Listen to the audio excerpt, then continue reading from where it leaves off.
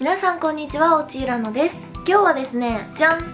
アットコスメストアでお買い物をしてきたのでそちらの購入品を紹介していきたいと思います。今回私は原宿の駅前のお店に行ってきたんですけどコスメっていうより色々買いたかったものがあったので補充してきたって感じです。では早速紹介していきたいと思います。ちなみに全部で1万6043円分購入しました。値段も一緒に紹介していきたいと思います。一番ね欲しかったものがじゃん。こちらです。カーラー？私普段前髪巻く時カーラー今まで使ってなかったんですけどこの前髪にしてから美容師さんにカーラー使った方が自然になるみたいなのを教えていただいてでお家にカーラーがなかったので購入してきました。韓国のロールブラシみたいなやつで今ブローしてやってるんですけどメイクしてる間にこれつけといたら後つくしいいかなと思ってまだ使ったことないので仕上がりはどうなるかわかんないんですけどとりあえずこれを使ってみようと思いました。ポワンってあの丸みがある形にしたいので太めの 40mm のやつを買いました。これは440円でした。安じゃん。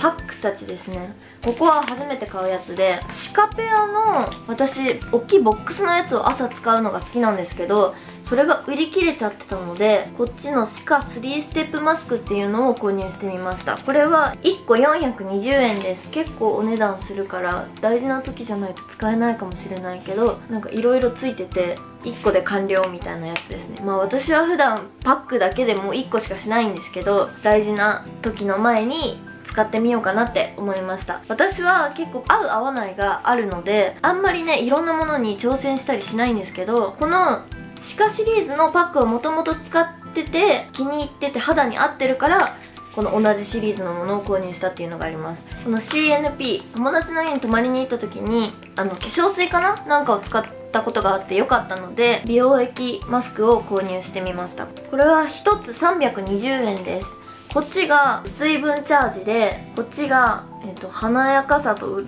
折った印象を与える美容液マスク。あんま分かんないんですけど白とピンク可愛いなと思ったので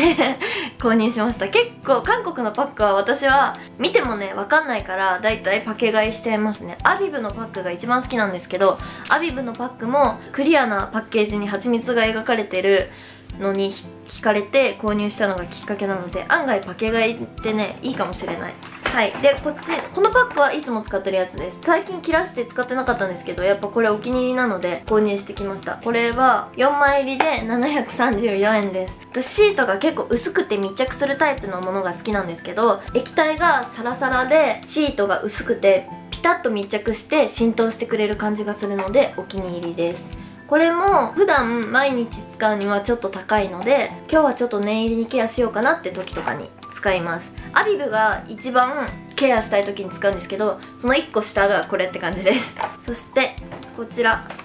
じゃん。ラブライナーのふんわり愛されブラウンのペンシルのライナーですね。1320円でした。私最近この髪型にしてより韓国っぽいメイクにしたいなって思って自分なりにちょっといろいろ研究してるんですけど韓国の女の子結構ラインをはっきり描いてる方が多いのでブラックは私とっても似合わないのでブラウンで描きたいなと思ってこっちを買ってみました。最近もうねピンクとかバーガンディ系のカラーばっかりでラインを描いてたので買ってみました。なんかかっこよくないですか？このパッケージ。これまつげのコームなんですけど今まで私ね使ってなかったんだけどやっぱ使った方が綺麗になるなって思ったのでピンセットとかハサミはなくさないのにこれだけね尋常じゃないくらいなくすんですよね。気をつけようかな。これはね1000円でした。じゃん。椿プレミアムリペアマスクヘアパック。これはね1298円でした。結構 SNS でいいみたいなのを見たのでちょっと使ってみようかなと思って購入しました。こういう SNS で好評だったり流行ってるもの髪の毛に関しては絶対に試します。肌のものはね自分の肌とみんなの肌結構違ったりするのが多いんで試さないんですけどヘアケア類は基本1回試してみます。そしてのフィーの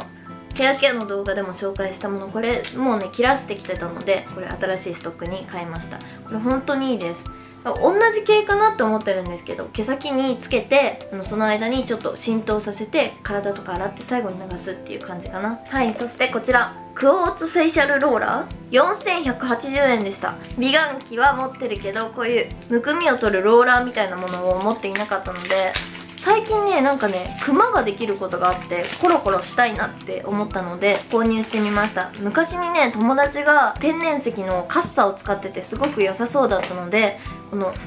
天然石のものを買いました。こんな感じ。めっちゃいい。こうやってちっちゃいところもあるからこうやって目の周りとかもできるしいいかなって思いました。私ねパックした後に美容液でこうやってこう手で流す癖があるんですけどこの肌が擦れるのってあんまり良くないらしいのでこういうちゃんとコロコロだったりとかでやろうかなと思います。これめっちゃいいです。冷たくて気持ちいいし石だから硬くてちゃんとゴリゴリになってくれるもの。このお肉がなくなりますようにって感じで毎朝やろうと思います。これでもめっちゃいいな。ずっとやっちゃう。こうやってリビングに置いといてテレビとか見ながらやります。ラストなんですけどじゃんシュウエムラのリップです。これはルージュアンリミテッドリキッドラッカー。この前の動画でも紹介したと思うんですけど私が最近ドハマりしているリップのシリーズの違う色を買いました。なんと3色目。私が今ねつけてるカラーが BG04 番なんですけどこちらね。これはちょっと濃いめのピンクかなっていう感じ。今つけてるカラーがこんな感じなの。ちょっとくすみ赤ピンクみたいな感じで新しく買ったカラーがもっとピンクです。超かわいい。じゃん。こっちです。新しく買ったのが。薄ピンクの方で。わかるかな？結構ね肉眼で見るとかなり違うんだけどあったかい季節になってくるし薄いピンクの口紅をつけたいなと思って購入したんですけどもともと一番最初に買ったのはこのねもう一個明るいカラーの。WN04 番っていうもっとね濃い似てるな。色の好みがバレちゃうな。こんな感じ。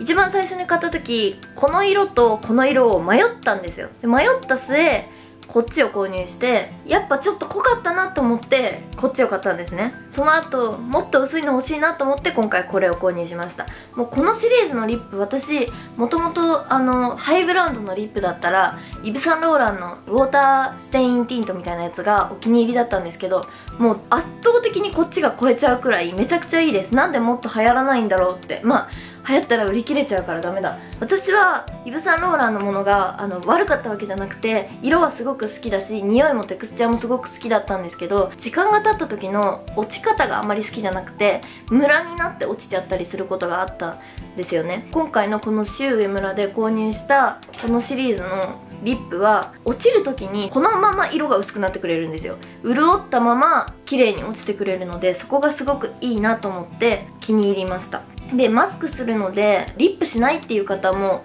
いるんだなってコメントで知ったんですけど私は飲み物飲んだりとか何かした時にリップがついてない顔がめちゃくちゃ自分の顔が嫌いなのでリップは必ずつけるようにしてるのとあとメイクの仕上げっていう印象でリップをしないと自分の中で完成決まりよし今日も行くぞっていう感じがしないから必ずリップはつけてます。これはマスクの中でも唇の治安が悪くなったりとかしないので本当に本当におすすめです。色もねめちゃくちゃたくさんあるので私は個人的にはこの潤いの方がいいかなって思います。マットなシリーズもあったんですけど私は普段からグロスとかプルプルしてる唇が好きっていうのもあってこれはティントっぽいのにこれ1本ですごいうるうるの唇にしてくれるので一石二鳥だなって思いました。5分ぐらい待ってみるとすごく唇に密着して塗りたてよりもプルンってした印象になるのが特徴かなって思います。もうぜひ一度使ってみてほしいです。普段使ってるのがこれ。04番。新しく購入したのが05番です。このねちなみに濃い色は多分ね使わない気がするから妹にあげようかなと思ってます。いつもねなんか失敗したり自分には合わなかったなっていうコスメがあったら妹にあげてるんですけど店員さんに話しかけていただくのが個人的にちょっと苦手っていうのもあってコミュニケーション取りたい時は嬉しいんだけど話しかけられちゃうと私結構買わなきゃって思っちゃうタイプなので 結構自由にお買い物できるのですごく好きだなと思います。また行ったら紹介します。ということでこの動画が少しでもいいなと思っていただけたり参考になったよっていう方は是非チャンネル登録とコメントグッドボタンをよろしくお願いいたします。おちいらのでした。バイバーイ